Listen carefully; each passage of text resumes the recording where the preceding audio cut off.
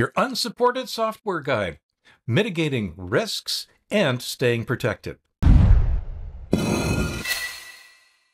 Hi, everyone. Leo Notenboom here for AskLeo.com. One of the very common questions I get, mostly about Windows, is about its end of support date. Each version of Windows is supported for only so long. But that's actually true for almost every piece of software that you use. It's true for every operating system, Mac OS, Linux, etc.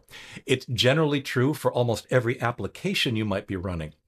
At some point, someday, the version you're using today isn't going to be supported anymore. What does that mean? What do you do? Well, let's talk about that. First of all, it's important to understand what unsupported software really means. When Windows 10, for example, reaches its end of support date next year, what happens? Well, nothing. Nothing happens. The only thing that unsupported software means is that it will no longer be updated. You can keep using it. In fact, many people do. In fact, if you take a look at previously unsupported software, software that has already long since met its end of life date.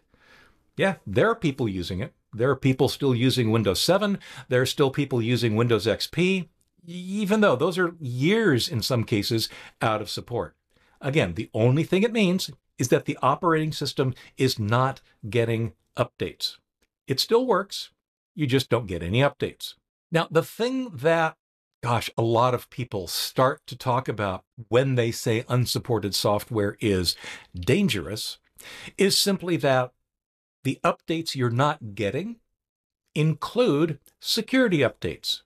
So the theoretical worst case scenario is that after the end of support, some kind of vulnerability is discovered in the operating system itself. That vulnerability will not be fixed which means that everybody using that operating system is vulnerable to whatever malware might try to exploit that vulnerability. In practice, like I said, we've been here before, and those kind of disasters haven't happened. Generally, I suspect that malware authors have moved on to the current versions of Windows or the whatever version of Windows is the most popular because that's where they get the highest return on their investment. They can infect more people because more people are using that version of the operating system. Doesn't mean that it couldn't happen. It just means that it's rare. I'll call it the exception rather than the rule. Now, the other thing that actually turns out to be, I would say, a more pragmatic risk of continuing to run unsupported software is that eventually an app you need, an app you run, some software, some program that you rely on, will itself stop supporting the version of the operating system you're running. If it's some software that you're running that itself has run out of support, then if you find a bug, you're not going to get it fixed. If there are new features, you're not going to get those. Uh, but the issue is that the software that you're running generally is the thing that will push you over the edge to trying to solve this problem. For example, if you're running Windows 7 and your favorite, I don't know, word processor stops supporting Windows 7, you have a decision to make if your favorite word processor itself is no longer being updated and you need the new feature that's in the current version, well, you have some decisions to make. But that's really all it boils down to. You have some decisions to make. And that's what it really comes down to understanding your own personal security, how vulnerable you are in general, how good you are about avoiding malware, how much you need the most current features, and so forth.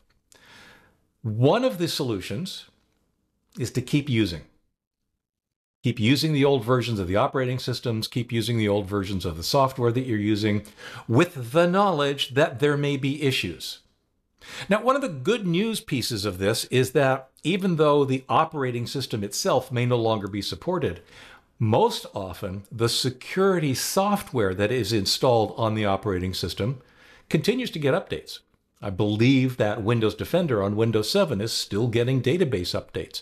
That's great because you've got anti malware tools, security tools on those systems that essentially are still working. And when they stop working, there are a lot of alternatives you can look to to potentially install on your unsupported operating system. So continuing to use it, one option. And it, I'm not even saying it's a bad option, but the option that I suspect will be the more successful in the long run is to update. Update Windows, update your applications. I realize that there's resistance, especially when it comes to like the Windows 10 to Windows 11 transition. In the long run, someday you'll probably have to update because it won't support your machine anymore or whatever. You'll get a new machine and it'll have the new operating system on it. The sooner you can do that update, not only are you more secure going forward, but you'll have that much more time to familiarize yourself with whatever changes you experience in the transition.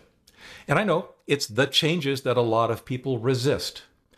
I suggest that it may not be in your best interest to resist.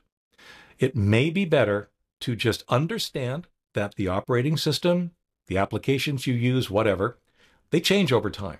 They have to for a variety of reasons. And if you can reconcile yourself with using those changed versions, I truly believe that in the long run, you'll be better off. There'll be some short term pain, I get that. But in the long run, you'll probably be less frustrated and more secure. I hope you found that helpful, at least give you something to think about. For updates, for comments, for links related to this topic and more, visit askleo.com slash 171246. I'm Leo Notenboom, and this is AskLeo.com. Thanks for watching.